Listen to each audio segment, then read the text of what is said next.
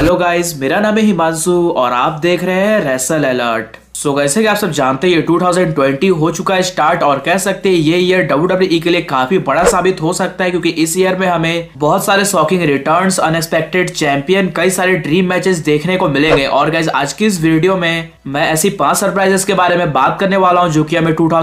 में डब्ल्यू में होते हुए दिख सकते हैं। तो अपनी काउंट स्टार्ट करते हैं नंबर फाइव से। देन नंबर फाइव पर यह है की जॉन सीना बन जाए seventeen time world champion W championship जीत कर अब शायद ही कोई ऐसा फ़ैन होगा डब्ल्यू e का, जो कि उन्हें 17 टाइम वर्ल्ड चैंपियन बनते हुए नहीं देखना चाहता है। रिक फेयर का रिकॉर्ड तोड़कर अब ये अलग बात है कि आर थ्रू 29 टाइम्स बन चुके हैं 24/7 चैंपियन बट सभी कोई जॉन सीना को फिर से वर्ल्ड चैंपियन बनते हुए ज़रूर देखना चाहता है। और कह सकते हैं, पिछले ईयर वो हमें डब्ल्यू e में ज़्यादा देखने को नहीं मिले बट हो सकता है इस ईयर उनके कुछ और प्लान्स हो और वो हमें रेसल या समर स्लैम ऐसे कुछ इवेंट में कम्पीट करते हुए दिखे और वो शायद इस बार बन जाए 17 time W world champion W championship को जीत कर अब क्या पता वो चीज़ ब्रॉक लेसनर को ही हरा करो। तो अब बात करें नंबर फोर की देन नंबर फोर पर मैं दो नामों को रखना चाहूँगा जिनका रिटर्न हमें 2020 में देखने को मिल सकता है और कह सकते हैं इनका अगर रिटर्न हमें देखने को मिलता है तो वो काफ़ी ज़्यादा शॉकिंग होने वाला है। तो वो कोई और नहीं, वो है rated R superstar Edge and the best in the world CM Punk अब CM Punk drunk betting odds में सेकंड फेवरेट है to win Royal Rumble Roman Reigns के बाद बट इसका मतलब ये नहीं कि वो हमें रॉयल रंबल में रिटर्न करते हुए दिखेंगे, हो सकता है। वो हमें 2020 खत्म होने से पहले अपना रिटर्न करते हुए दिखे, चाहे वो समर स्लैम में हो, चाहे वो रेसल मेनिया में हो, चाहे वो रॉयल रंबल में हो, लेकिन ये बात तो hundred and one percent confirm है कि सीएम पंक एंड डब्ल्यू के रिश्ते अब पहले से काफ़ी ज़्यादा बेटर हो चुके हैं, क्योंकि उनकी न्यूज़ अब डब्ल्यू अपने ऑफिशियल वेबसाइट पर भी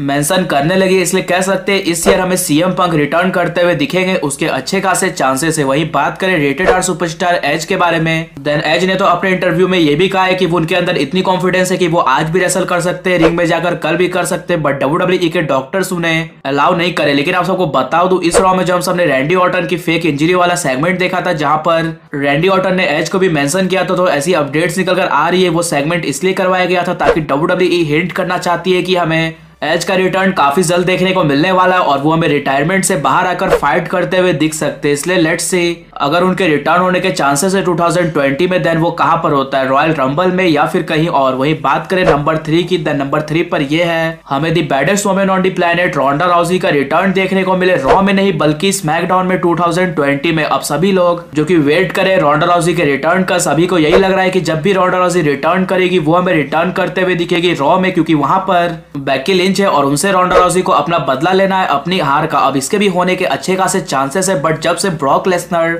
रॉ में गए देन तब से मुझे ऐसा लग रहा है कि हमें रोंडा राउजी रिटर्न करते हुए दिखेगी स्मैकडाउन में। पहला रीजन ये है कि फॉक्स ने डिमांड किया था डब्ल्यू से कि उन्हें उनके ब्रांड पर ब्रॉक लेसनर या फिर रोंडा राउजी में से कोई एक चाहिए, ताकि यूएफसी के व्यूअर्स उनके शो में अट्रैक्ट हो। अब दूसरा रीजन एंड सबसे बड़ी रीजन जो है वो ये है कि अब स्मैकडाउन की वुमेन्स डिवीज़न उतनी कुछ ज़्यादा स्ट्रॉन्ग नहीं है बट हम सब रॉ में देखे तो वहाँ पर बैकी लिंच सॉलिड फ्लेट जैसे बड़े सुपरस्टार है जो कि रेटिंग्स ड्रॉप करते हैं, इसलिए स्मैकडाउन की ज़रूरत है रोंडा राउजी जैसे सुपरस्टार की, जो कि हमें स्मैकडाउन की वुमेन्स डिवीज़न को थोड़ी आगे ले जाते हुए दिखे। और क्या पता साल एंड होने होने तक वो स्मैकडाउन वुमेन्स चैंपियन भी बन जाए। वही बात करें नंबर टू की देन नंबर टू पर एक ड्रीम मैच है जो कि सभी को देखना चाहता है, और वो है the dead man Undertaker versus the icon Sting के बीच। अब इस मैच से रिलेटेड 2019 में भी काफ़ी ज़्यादा रूमर आए थे कि हमें देखने को मिल सकता है बट हमें ऐसा कुछ भी देखने को नहीं मिला और 2020 में अगर ये मैच हमें देखने को नहीं मिलता देन मुझे ऐसा नहीं लगता कि ये मैच हमें कभी भी देखने को मिलेगा 2020 के बाद। इसलिए ये देखना काफ़ी ज़्यादा इंटरेस्टिंग होगा कि क्या हमें स्टिंग अपने रिटायरमेंट से बाहर आकर ये मैच लड़ते हुए दिखते हैं या फिर नहीं। तो अब बात करें नंबर वन की।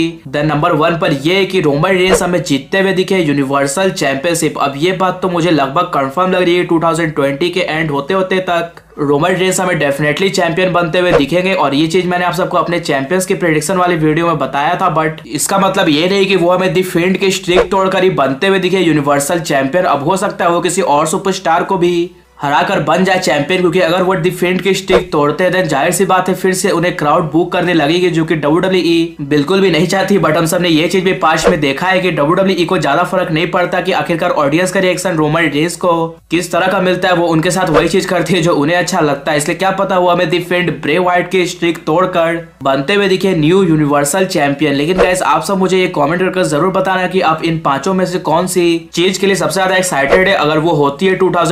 में डब्ल्यू e में। इसके अलावा अगर वीडियो पसंद आएगी तो वीडियो को भी लाइक कर दीजिए और चैनल को सब्सक्राइब करने के साथ साथ उसके बगल वाले बेल आइकन को भी ज़रूर प्रेस कर दीजिए। तो मिलते हैं गाइस अगली वीडियो में।